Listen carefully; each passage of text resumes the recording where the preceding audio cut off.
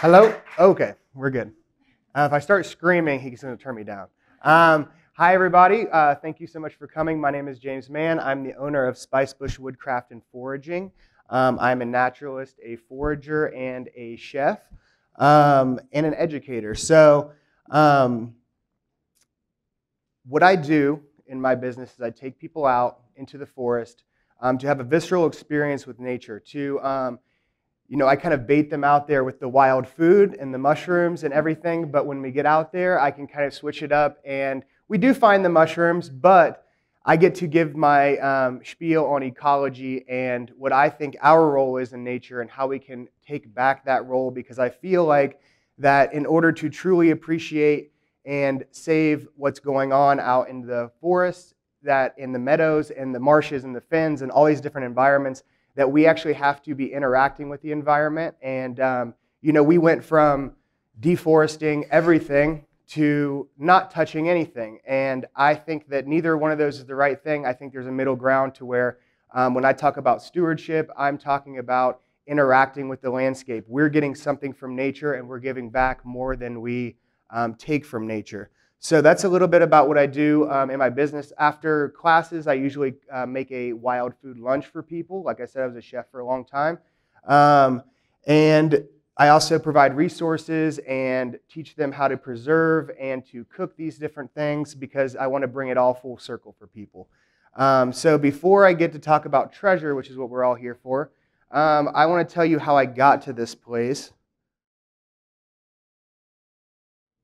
I grew up in southern Ohio um, at the foothills of the Appalachian Mountains, and um, I grew up foraging and um, fishing and all the kinds of things that you would do in like a small rural town.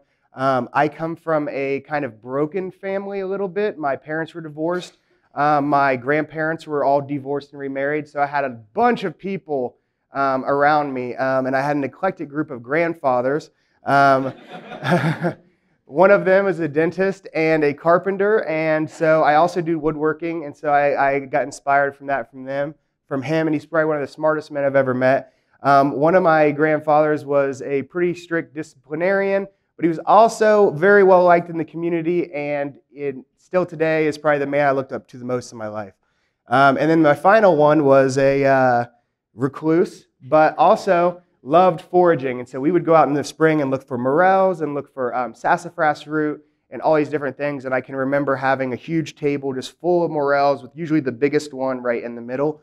Um, and we would just, my grandma would fry them up and we would just like literally eat them as she was frying them up. So um, it was really great growing up with that. But um, when I graduated high school, you know, the opioid epidemic was hitting our place pretty hard.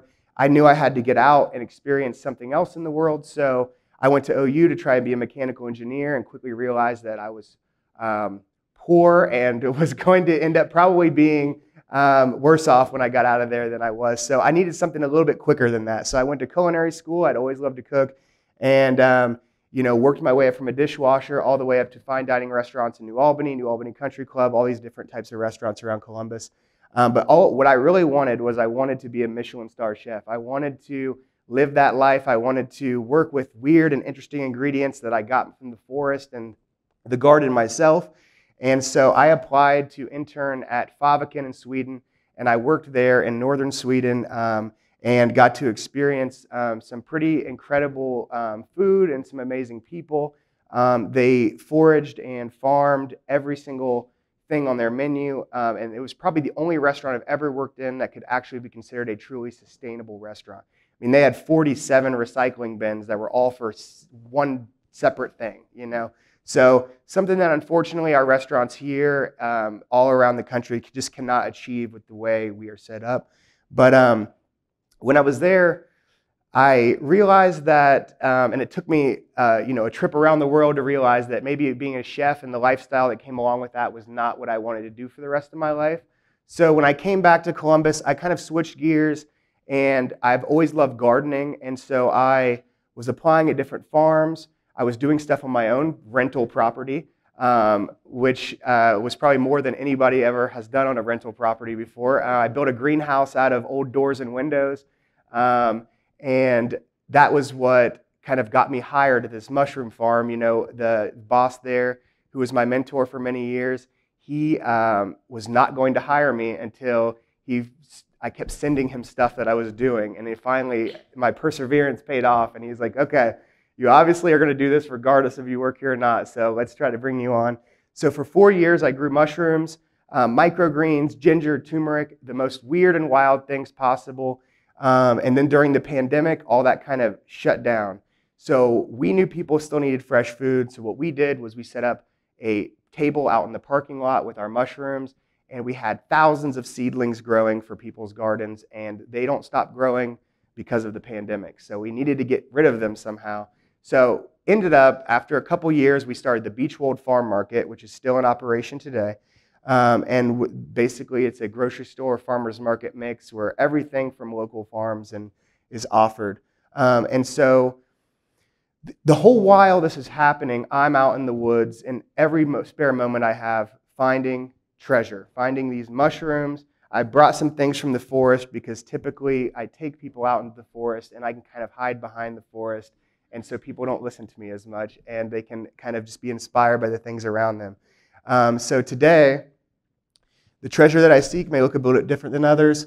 This is the treasure that I love, and this is wild food. So um, many people don't know how much biodiversity we have here in Ohio. Um, in this region that we live in, um, people like to think of Ohio as the hell is real sign or um, fields of corn and things like that. But in reality, um, the northern half of Ohio, where the glacier had come down, is all flat, but you get below that and it turns into this paradise. And I truly believe that Ohio is a paradise.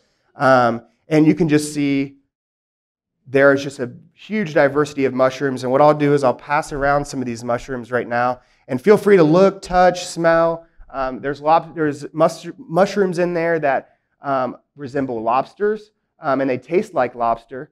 Um, they're actually called lobster mushrooms, and you're going to find out that most mushroom names um, are pretty uh, not creative. So, uh, if, it, if it tastes like chicken, it's called chicken of the woods. If it looks like a hen, it tastes, it's called hen of the woods. Like every, you know, duck of the woods. Everything is something of the woods. Um, but um, the cool thing is, is there's so many different types of mushrooms out there. There's chanterelles, which are little golden funnels that come out of the ground. There are mushrooms out there that literally have the texture of chicken breast. There are mushrooms with teeth, mushrooms with gills. Um, there are mushrooms that will make you see other dimensions. There are mushrooms. There, there, are mushrooms that can heal your sickness. There are mushrooms that can um, been shown to stop or reverse symptoms of Alzheimer's disease. So mushrooms play such an important role in the environment. And if I start talking about the roles they play, we'll be here for three hours. So what I want to talk about is how I find treasure. And the first step to me finding treasure is curiosity. And um, basically what I'm going to be, the steps I'm going to be talking about today is essentially a boiled down version of the scientific method. And from going into the woods for many, many years and experiencing and learning and being curious about stuff, I have realized that um, we can determine a lot of things and we can find the treasure in our lives, the tangible and intangible treasures, by following a lot of these steps that I'm going to talk about today. And to, to even find the treasure, we have to know what questions to ask. We have to know what we're looking for in the first place, which is why my first step is curiosity. And being curious about what's going on around you um, is how you even determine what to find or what to ask to, in order to find it. So, um, you know, for me, the curiosity was uh, finding new ingredients, trying to find something else to work with. I, I have a bit of ADD.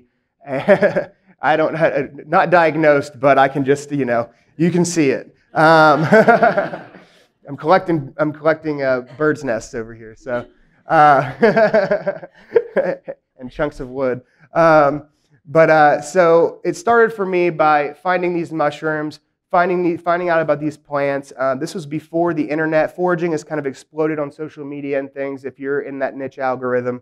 Um, and there are so many people out there identifying this stuff, telling you all about it. Well, when I started, the internet was not as good as it is now. And a lot of these um, websites I was going to were built by people that should never build a website. So it was a lot of um, searching, researching, taking mushrooms home, throwing them away, throwing them outside because I was too scared to try because it looked a little bit like something, but it also looked a little bit like something else. But I can say with confidence now that um, in addition to all the resources I've used and the time I've spent out in the woods, I've been able to identify a lot of different things. And I haven't made anybody sick yet, or at least they haven't told me they've gotten sick. So uh, either way, I'm still um, winning. Um, so we start with the first step of curiosity, you know, getting out there, um, finding out what you're curious about, what inspires you. And that's why I take people out into nature, because I want nature to inspire them. I want to, I'm not selling um, information, I'm selling an experience for people. Um, and the information just comes along with it. Um, because I am just so passionate about this. And the more people, you know, one thing I often talk about is the succession of forests.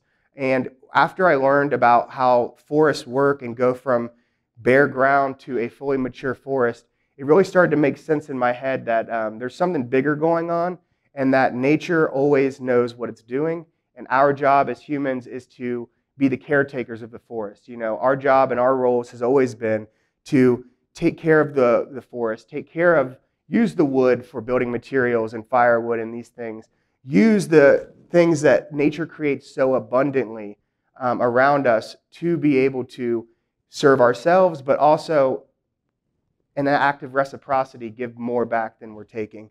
Um, so, after curiosity, that's going to lead you to knowledge. And the knowledge would be hey, okay, so I'm curious about these mushrooms. I'm trying to identify them and find out where they grow, when they grow, all these different things. So, you start to learn a bunch of facts about nature. You start to learn about a bunch of facts about, um, say, an oak tree. You know, some years it's very abundant, some years it's not.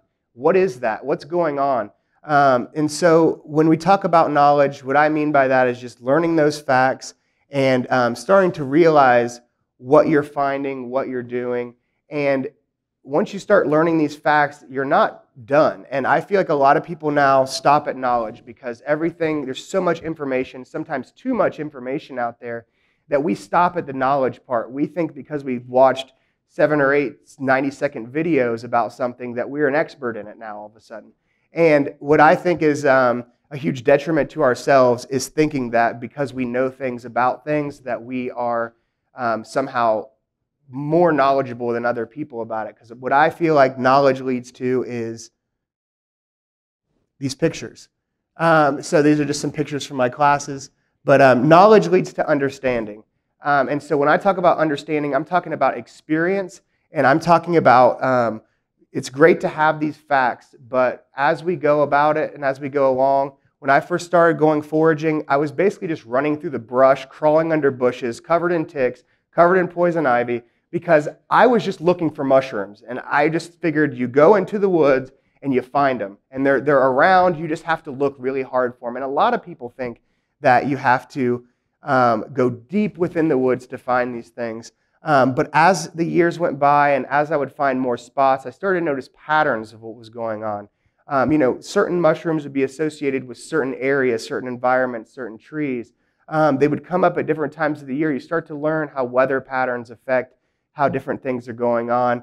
And, um, you know, maybe it's a bad year this year. How can I tell if it's going to be a bad year so I don't waste my time, you know, obsessively looking for these things every single day. Um, so, and that's what leads to the understanding is you start to see patterns that go on in nature year after year. You start to gain that experience, and then you start to truly understand what's going on. Because what I find is that, and I'm sure if anyone here has a hobby or anything like that, you know that you watch a video of somebody say, I like to carve spoons and I like to make things out of wood. So you watch a video of someone carving a spoon, and you're like, that doesn't look that bad. I'll get the tools, I'll get the wood, blah, blah, blah. And then you start to do it, and you're like, wow, this is not turning out. It's, for one, it's taking 24 hours when it took them three. And number two, this does not look like a spoon.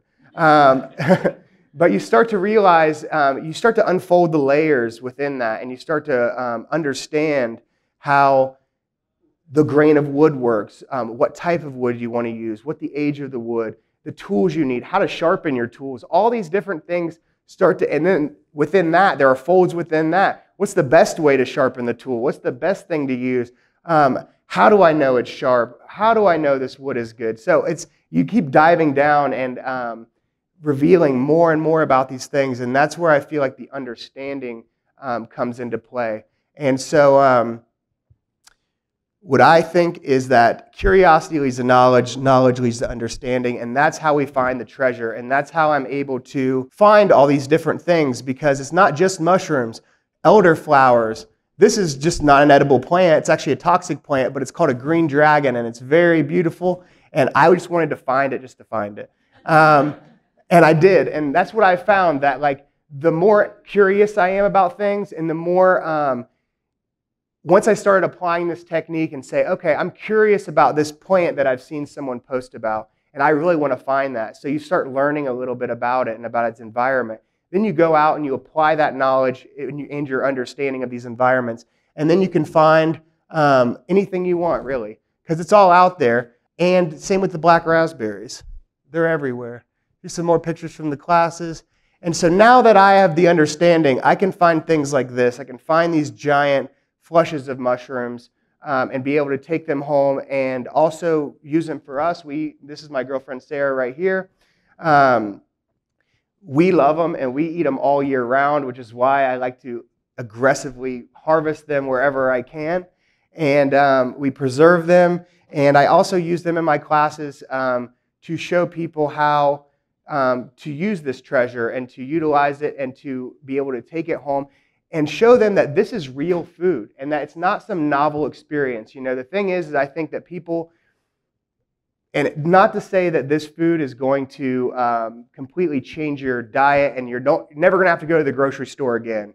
Um, no, but I think after the pandemic, we've all learned that uh, we can't be completely reliant on any one thing. We need to be diverse in our diet. And the funny thing is, is people say things like eat the rainbow, but what people don't realize is that most of the plants that we eat and vegetables we eat are from three or four different families of plants. So essentially, they are all the same plant, but we've hybridized and, and selectively picked over the years to change these different morphologies of them.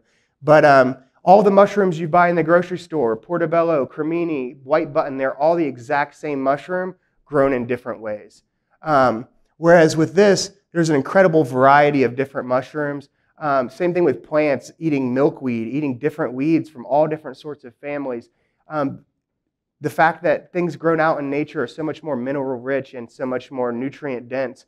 Um, I will die on the hill of acorns because I do believe that acorns were once and can be again a staple food in our diet that is, number one, abundant. Number two, we have to do zero work for that except for the labor of processing um, but the trees grow it all on their own. Um, so just trying to get people more in that mindset of, um, hey, like let's diversify our diet. Let's get some things from nature. Let's grow some things. And yes, I'm never going to be making my own soy sauce in my basement. I shouldn't say that because we might, but uh, I just don't have the time to right now. But uh, it's not out of the realm of possibility. Um, but for most people, they're not going to be making their own fish sauce or their own soy sauce. So there's always going to be things that we need to get from the store and, and rely on others for, um, which is why I think also that um, what we tend to forget sometimes is that food has always been the center of community. And, um, you know, people, indigenous people in this area, the Shawnee, Wyandotte, Delaware, all these different um, indigenous communities around here, they weren't acting alone. They weren't going out and harvesting acorns and processing them just for them, their family. This, these were community events. These were community things where everyone would come out for this common cause of like, we are making the food for our community for the winter and these things like that. So um, I think getting back into that mindset of like, hey, you know, the problem I have with homesteading and um, things like that right now is it's all about self sufficiency. Well, self sufficiency is, I'm sorry, not attainable. It's not attainable. We, my um, girlfriend and I, we steward a acre of land in South Columbus, and we do a lot of stuff but there is no way that we can do everything. The amount of labor it takes just to have a garden and chickens and ducks is, you know, about the precipice of overwhelming. To imagine having uh, pigs and a cow or all these different things is just um, not attainable. So what we do is we support local farms that do these things the right way and that we trust. And we also get our food from the forest, and we also get our food from the grocery store. And all these things adding up um, at the end of the day, are going to successfully fill that need that we have um, to have all this diverse, nutrient dense food that is not reliant completely on the grocery store. So, what I like to tell my classes um, is here's what I want you guys to do. I want you guys to find an area that's access- a natural area that's accessible to you, and I want you to go there and I want you to walk. Find a find a trail that you like. Find an area that you like um, that you can go to, maybe once a week, maybe multiple times a week if you have the time. But go there often. Go through throughout the seasons, even in the wintertime. Go there, and the more you go, and the more you um, pay attention and observe, the more things you're going to start to see. You know, an interesting thing I like to tell people is that, um, you know, people are something, they are affected by something called mushroom blindness. And I guarantee you, if you walked out into the woods right now, you would walk past 20 to 30 species of mushrooms and you would not even see them, no matter how hard you looked, honestly, because we've been conditioned over years and years and years to um, be scared of nature. I've heard people say um, to their kids, hands to your sides, everything is poison ivy.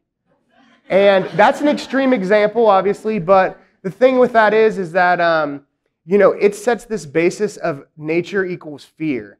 And what I feel like is that we need to respect nature, and you can respect things like poison ivy because even though something like poison ivy is not um, beneficial and actually harms us, um, it is incredibly beneficial to the wildlife in our communities. Um, and the berries, the shade that it provides, all these different things. Like we're the only thing that's allergic to poison ivy.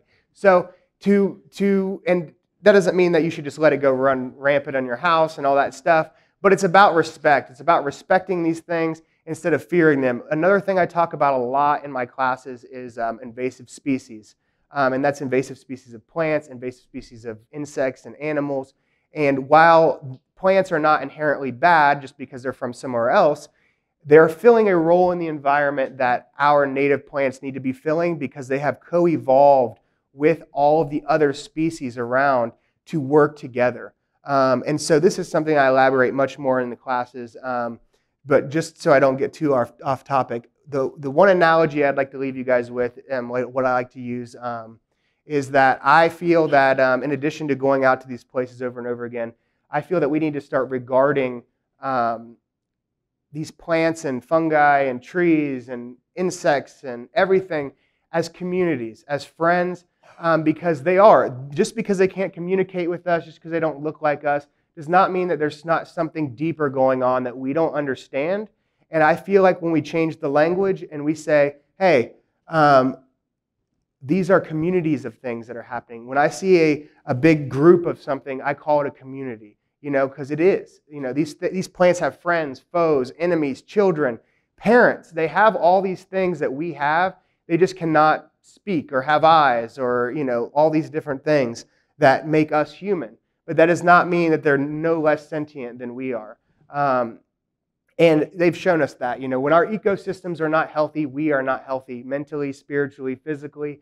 And when you um, improve these ecosystems, riparian areas, um, upper um, edgeland ecosystems, all these different ecosystems, when we repair those, we will be healthier as a result because it's a cascading effect from the microbiology in the soil all the way up to us, all the way to the air, to the, the water. Everything is healthier when we are healthy. So, um, the analogy I like to use is that um, if you had a neighbor an old, maybe an old lady. We have an old lady that lives beside us. And um, you didn't know her. You never really cared to talk to her. Uh, maybe she's a little bit mean, like our neighbor is. Um, maybe she's a crotchety old woman. And, but that isn't, but, and say you don't know her. Um, and maybe she dies. And she doesn't have any family. But if you don't know her and you don't really care about her because you don't know her, you wouldn't even know, notice she was gone. And maybe she's there for two months dead and you would never even know. We're taking a dark turn, guys. But here's the light at the end of the tunnel. When you engage in your community and you start and you start, um, you know, even simple niceties as just trying to come over and say hi, how you doing, um, all these different things, just just talking to somebody, getting to know your neighbors, um, and something does happen then you can be responsive to that and you can say, I haven't seen so and so in a couple of days. I wonder if something's wrong. Maybe we should go check on that. I feel the same way about our, our plant communities. You know, if we are disengaged and we are never um, trying to get to know or understand these things, then all the people that say that they love nature are kind of doing it arbitrarily. that, okay, I love nature as this big thing, but if you don't ever get to know them, how can you truly know what's going on? If they're healthy, if they're not healthy. Um, and so that's why I bring people out into the woods. And that's why I brought the woods in here, because um, I want to show you guys how beautiful nature is and how abundant it can be. Um, and not only that, but how much it has to offer us and what we can offer it in return. And I feel like getting people back out in the landscape, doing the things that humans do, um, is only going to just benefit us because while back to the land movements have not worked in the past, we have this unique opportunity here of this free spread of information where we can learn from each other so quickly and that we have modern technology to be able to um, aid us so that we can go back to the land without having to suffer and to you know not have potable water and you know, we, don't, we shouldn't have to suffer. We should be able to mix and utilize the technology and the breakthroughs that we've made and also be able to live out on the land. I feel like um, through convenience, we've gone completely the other way. Com- technology and convenience were only supposed to help us to live a better life, but now we're using it as a crutch. And I think that is a um, disservice to ourselves um, as humans because we belong on the landscape and we've co evolved with nature just like everything else. And so the longer that we can, um, the, the, and I'm going over time here, but uh, the more we can connect with nature is all I'm trying to say. The more we can connect with nature and the more we can get back on the landscape, even in simple ways of just going out and hunting mushrooms, picking blackberries, picking black raspberries, doing these things, making real food out of them, creating those traditions again for our families is how we're all going to be healthier and um, create a more sustainable life. So thank you guys for coming out. I really appreciate it.